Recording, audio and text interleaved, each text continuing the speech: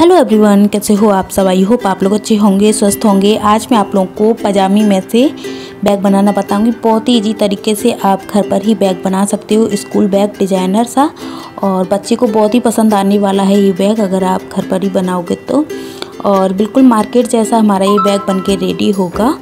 तो देखिए, हम हमने जो पजामी ली है, उसको हमने सिलाई वगैरह को साइड से निकाल दिया है। और इसकी जो चौड़ाई है, वो 12 इंच की है और हम इसकी लंबाई लेने वाले हैं 15 इंच। तो देखिए 15 इंच का हम निशान लगा लेंगे और इसको हम 15 इंच का निशान लगाते हुए कट कर लेंगे। हमने नीचे के हिस्से को कट कर दिया था पहले ही।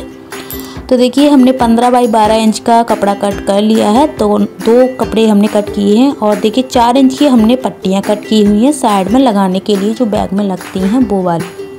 तो देखिए, इस तरीके से हम इसको पहले नाप लेते हैं, कितनी ये लंबी है। अगर छोटी होंगी तो आप उसे बाद में और भी कट कर सकते हो। तो देखिए, ये थोड़ी सी छोटी है, हम इसे बाद में देख लेंगे। तो हमने जो 12 बाई 15 का पीस कट किए हुए थे दो, वो हमने सेट कर लिए हैं, फॉर्म लगाकर और अस्तर लगाकर पीछे से। तो आप देख सकते हो, बहुत ही ईजी तरीके से हमने चौखाने वगैरह लगा लिए आप जैसे सिलाई इसमें लगाना चाहते हो, वैसे लगा सकते हो। अब देखिए, हम आलपिन लगाकर बीस सेंटर पहले इसे फोल्ड कर लेंगे और फिर इसमें हम ऊपर की साइड में इस तरीके से सेप दे देंगे राउंड सेप और चारों तरफ़ से इसे सेट करते हुए इसका जो एक्स्ट्रा पार्ट है, उसको कट कर देंगे। तो दूसरे पार्ट को भी हमें इसी तरीके से कट कर देना है। तो देखिए, हमने दोनों पार्टों को कट कर दिया है इस तरीके से। अब देखिए, इसके हम चारों तरफ़ इसकी जो गोलाई है पूरी टोटल उसको हम नाप लेते हैं ताकि हम जो साइड की पट्टी है वो रेडी कर सकें। तो देखिए 49 इंच इसकी जो टोटल गोलाई है वो है। तो इसकी जो पट्टियाँ हैं, हम इनको जॉइंट कर लेंगे और फिर हम इनको नाप कर आपको दिखा देते हैं। तो देखिए, हमने पट्टी को भी रेडी कर लिया है। हमने एक्स्ट्रा ही कट किया है 49 इंच से। तो देखिए फॉर्म और अस्तर लगा के रेडी किया है। तो इसकी जो टोटल चौड़ाई रह गई है, वो साढ़े तीन इंच की रह गई है, क्योंकि इसमें सिलाई वगैरह से थोड़ा बहुत कपड़ा खिंच जाता है और जो एक्स्ट्रा कपड़ा था, वो मैंने निकाल दिया है। अब इसकी लेंथ भी बता देती हूँ आपको। तो देखिए फोर्टी नाइन इंच हमें चाहिए था तो मैंने इसको तीन चार इंच एक्स्ट्रा ही लिया है चार पाँच इंच करीब। क्योंकि एक्स्ट्रा ही लेना चाहिए, कम नहीं लेना चाहिए, जितना एक्स्ट्रा था तो उतना मैंने ले लिया तो देखिए, दो पट्टियाँ मैंने बीस बाई चार इंच की ली हुई हैं। तो 20 इंच की लंबाई है, चार इंच इसकी चौड़ाई है। ये मैंने तनी के लिए लिया है। और ये मैंने एक और कपड़ा लिया है, साढ़े बारह बाई पाँच इंच का।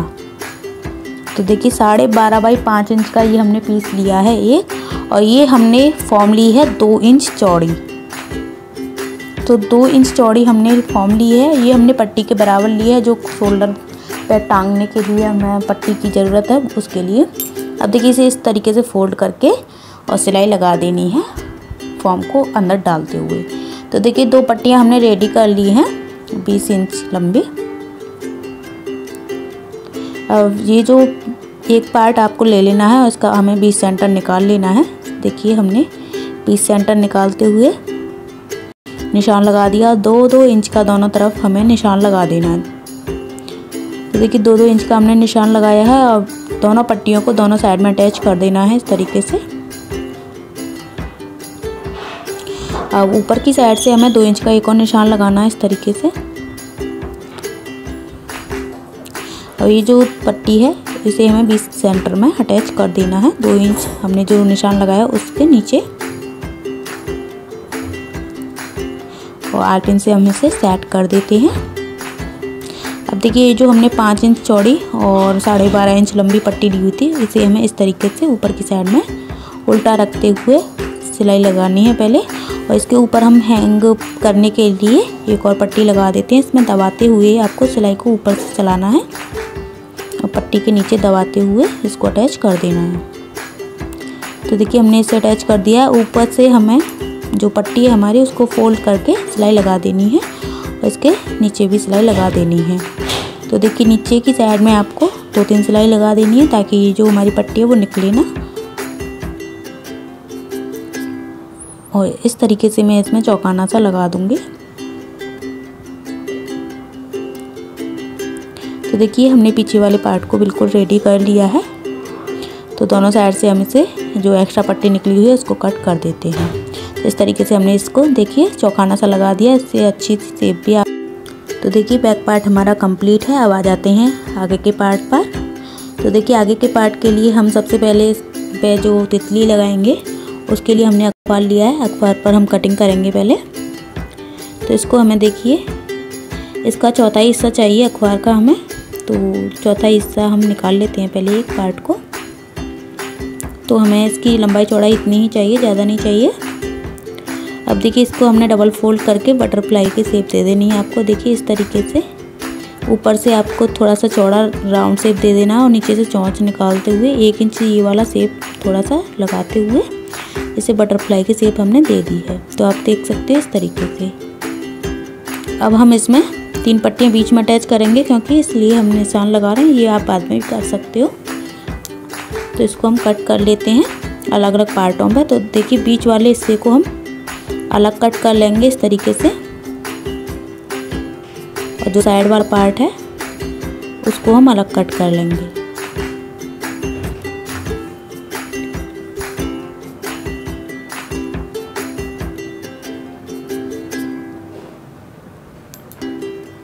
तो देखिए, हमने तीनों हिस्सों के जो है अलग अलग फॉर्म कट कर ली है।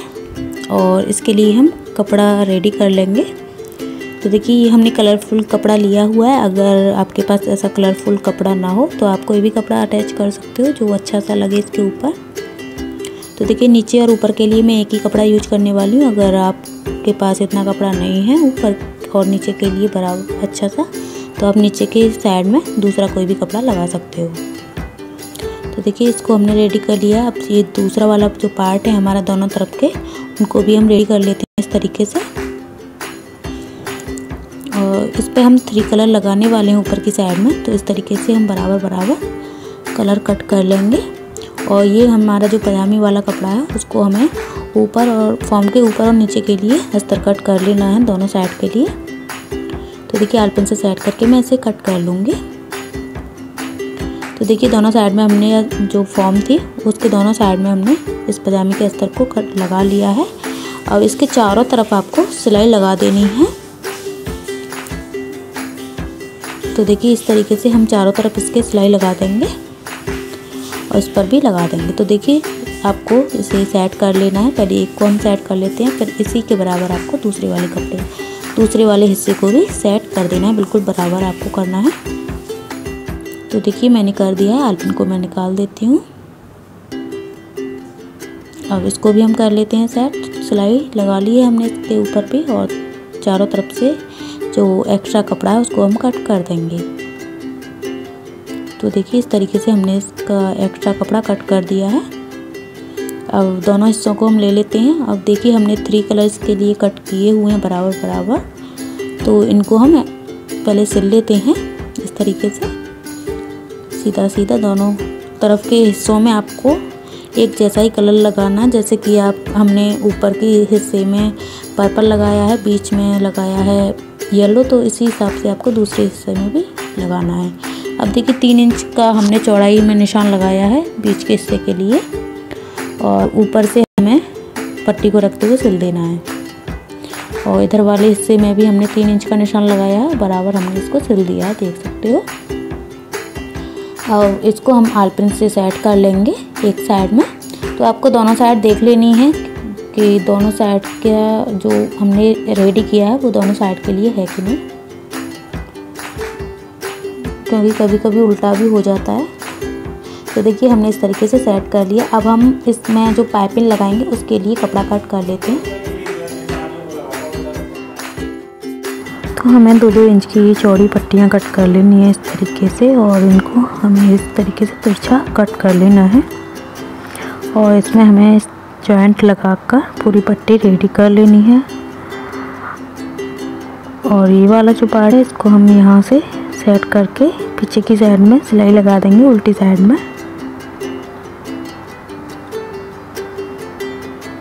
और दूसरे वाले हिस्सों को भी उल्टा रखना है और सिलाई लगा देनी है सीधी। तो ये हमारा बटरफ्लाई का शेप आ जाएगा। कुछ इस तरीके से ऊपर से एक एक सिलाई दोनों साइड में लगा देंगे। और जो हमने पाइपिंग रेडी की हुई है, उसको हम चारों तरफ़ लगा देंगे। तो आपको उरेवी पट्टी ही कट करनी है, सीधी कट नहीं करनी है, क्योंकि उरेवी ही सेट होगी इसके ऊपर, सीधी कभी सेट नहीं हो पाएगी। तो देख सकते हो, हमने पाइपिंग को अच्छी तरीके से पूरे राउंड में लगा दिया है। जैसे जैसे हमारे ये बटरफ्लाई है, उसी हिसाब से। अब देखिए, हम आगे वाले पार्ट को ले लेते हैं। अब इसके ऊपर हम इसे सेट करेंगे। तो इसके हम सबसे पहले बीच सेंटर में निशान लगा लेते हैं। तो देखिए, हमने बीच सेंटर में निशान लगा लिया है। इस पर भी हम लगा लेते हैं आगे की साइड में, क्योंकि पीछे की साइड में तो है ही, चौच निकली हुई है उसकी। अब देखिए सेंटर से सेंटर मिलाते हुए इसे हम सेट कर देंगे बीच में। तो जितना हमने गैप ऊपर छोड़ा है, उतना ही हमने करीब नीचे छोड़ दिया है गैप अब दो हमने डोरी, जो ब्लाउज़ की जो डोरी होती है, वो ले ली है और ऊपर की साइड में बटरफ्लाई की जो ऊपर पंख से होता है, उसके लिए हमने इस तरीके से राउंड लगाकर सिलाई लगा देंगे। यहाँ पर दो कट कर ली हैं। अब देखिए, यहाँ पर हमने दोनों पार्टों पर सिलाई लगा दी और इसमें हम अटैच कर देंगे इसको दोनों को इस तरीके से। तो देखिए, आलपिन से मैंने सेट कर दिया है पूरे पार्ट को। आप इसमें जैसा कलर लगाना चाहते हो, वैसा आप लगा सकते हो। अब देखिए, आपको किनार उधर साइड में नहीं लगाना है क्योंकि उधर आपकी जब पट्टी ज्वाइन करोगे तो ये सिलाई में दब जाएगा इसीलिए। तो आपको करीब एक दो इंच छोड़ते हुए सिलाई को लगाना है इसके ऊपर। तो देखिए, इस तरीके से मैं इसके ऊपर सिलाई लगा दूँगी यहाँ से। तो सिलाई आपकी ऐसी लगनी चाहिए कि आपकी दिखे ना, ऊपर की साइड में। तो देख सकते हैं, इस तरीके से मैंने डबल सिलाई लगाते हुए इसके ऊपर। अटैच कर दिया है इसको। यहाँ तक मैं सिलाई लगा दूँगी केवल बस, और फिर से मैं इधर साइड में लगा दूँगी। ये जो जॉइंट लगा हुआ है वहाँ पर सिलाई लगाइए तो देख सकते हो, बाहर वाला जो हिस्सा है, वो निकला हुआ है। उसके ऊपर हमने सिलाई नहीं लगाई है। अब हम चैन वाले पार्ट को कट कर लेंगे। तो चैन को कट कर लिया है कपड़े को कट कर लिया। है तो देखिए, पंद्रह इंच हमने लंबी इसकी पट्टी को कट कर लिया है। अब जो बीच में सिलाई लगाई हुई है हमने, इसके किनारे किनारे हम एक और सिलाई लगा लेंगे सेंटर से। अब इसे हम बीच में से कट कर लेंगे, बिल्कुल। और इस चैन को अटैच कर देंगे। तो देखिए, हमने चैन को लगा लिया, एक और सिलाई लगा देंगे हम पीछे से। तो हमने पीछे से भी सिलाई लगा ली है, अब दूसरे पार्ट को भी अटैच कर देंगे। तो देखिए। कर दिया है, हमने दूसरे पार्ट को भी अटैच अब हम इसमें रनर डाल देते हैं दोनों साइड से। तो देखिए, हमने दो रनर डाल दिए हैं, दोनों साइडों से आपको डालने हैं। आप अगर एक डालना चाहो तो एक भी डाल सकते हो। अब इसमें हमें बीच सेंटर में निशान लगा लेने हैं दोनों साइड में। अब सेंटर से सेंटर मिलाते हुए इसको हमें सिलना है। तो देखिए, बीच में से ही हम इसको सिल रहे हैं ताकि बीच सेंटर हमारा बीच में ही आ जाए। तो इस तरीके से हम इधर वाले पार्ट को सिल देंगे पहले। तो इधर से हमें एक इंच छोड़ देना है पहले, क्योंकि हमारी जो बाकी की जो पट्टी है, वो इसमें अटैच करनी है हमें इसीलिए। तो दोनों साइड से हमने सिल दिया एक एक इंच छोड़ते हुए। अब ये दूसरे वाले बैक वाले पार्ट को भी हम इसमें ज्वाइंट कर देंगे, बीच में निशान लगाकर। तो सेंटर से सेंटर मिलाते हुए इधर भी हम सिलाई लगा देते हैं। तो देखिए हमने इसमें भी सिलाई लगा दी इधर साइड में भी। और देखिए, नीचे वाले पार्ट में भी हम नीचे के हिस्से में बीच सेंटर में निशान लगा लेते हैं।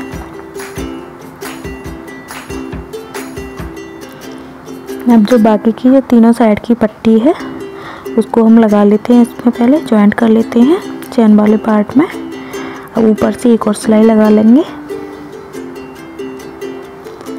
अब इसको हम देखिए, इस तरीके से पकड़ते हुए एक साइड में हम इसको पूरा तीनों साइड से सिल देंगे बाकी के। तो देखिए, हमने इस तरीके से इसको सिल दिया है। तीनों साइड से। अब ये जो बचा हुआ पार्ट है, उसको हम देखिए किस तरीके से सेट करेंगे। आप थोड़ा सा ध्यान से देखना आपको समझ में आ जाएगा। तो देखिए, इसको हमें हाफ़ इंच इस तरीके से फोल्ड करना है, और इसे आपको बराबर लेते हुए और इस वाली पट्टी को भी आपको फोल्ड करना है। तो हाफ़ इंच हमने इसलिए फोल्ड किया क्योंकि इसमें सिलाई में दबेगा ये। और देखिए, इधर पार्ट का आधा इंच इधर सिलाई के लिए लिया है हमने एक्स्ट्रा और आधा इंच इधर। और इसको हम कट कर देंगे जितना भी ये बचा हुआ है। तो इधर से नाप लेते हैं कितना ही साढ़े चार इंच है और इधर से भी साढ़े चार इंच नाप कर इसे सीधा कट कर देंगे।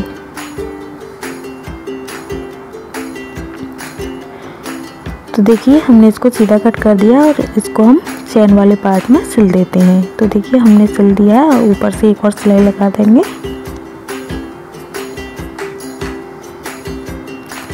तो ये हमने इसमें डबल सिलाई लगा दी है। अब जो बाकी का पार्ट है, उसको हम सिल देते हैं। थोड़ा सा बचा हुआ है वो।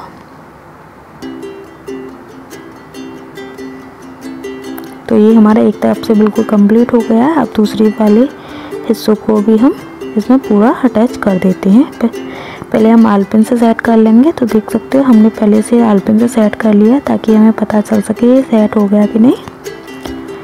तो आपको इसी में ही सेट कर देना है। अगर आपका छोटा बड़ा हो, जो पार्ट है बीच वाला तो आप उसे सेट कर सकते हो, लेकिन आपको इसी पट्टी में ही सेट करना है।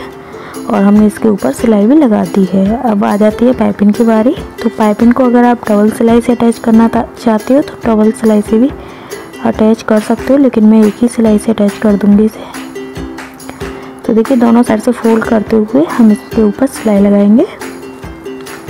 तो पहले हम इस तरीके से डाल देते हैं और इसको ऊपर से देखिए, नीचे से भी फोल्ड करते जाएँगे और ऊपर से भी और सिलाई लगाते जाएँगे। तो हम दोनों साइड में पाइपिंग लगा लेते हैं। तो देख सकते हो, हमने दोनों साइड में पाइपिंग लगा ली है और ये हमारा बैग कंप्लीट है। तो हम इसको सीधा करके दिखा देते हैं।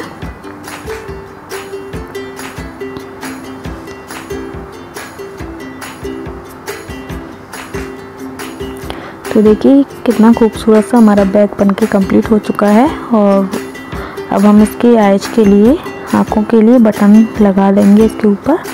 तो दो मैंने ब्लैक कलर के बटन लिए हुए हैं। तो यहाँ पर मैं सुई धागे की हेल्प से इसे लगा दूँगी।